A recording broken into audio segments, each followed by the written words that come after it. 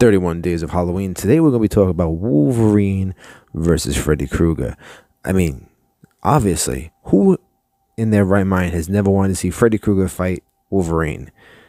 The horror icon with the claws versus the comic book icon with the claws. The master of dreams or whatever the crap versus the Wolverine. All right, so this takes place in an Incredible Hulk comic book. I think the issue is 355.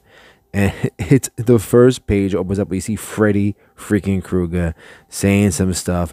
And then all of a sudden he keeps threatening, I think, Bruce Banner. And uh, all of a sudden, from behind his head, yeah, shrink in his Wolverine's claws. You see dialogue that says, Nice claws, bud, but mine are bigger.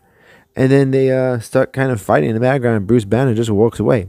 And in my mind, I haven't read this comic book since it came out in 1989. In my mind, I thought this was actually in Bruce Banner's mind as a dream sequence. But it turns out that this is like a video convention. So these guys were like cosplayers in 1989 at a video convention in Las Vegas. So it wasn't even really Wolverine or Freddy Krueger.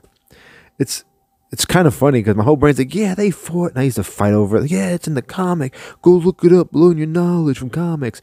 And here I am, completely misremembering this uh, issue of the comic, but it's a really cool comic book either way. It was the first time, like, I, I think, honestly, the first time Wolverine and Freddy would have a crossover, maybe the only time.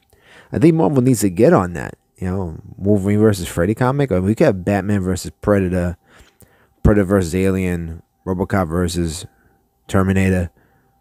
We we we can have this. We can literally have Freddy versus Wolverine. I think it'd be really kind of cool to see. Maybe the Dream World, something happens. I would love to see it. But they did have an epic rap battle, so that that happened. Big old rap battle between Freddy and Wolverine. I love those random factoids of when horror and comic books cross over. All right, guys, we'll stay tuned until tomorrow for another 31 days of Halloween.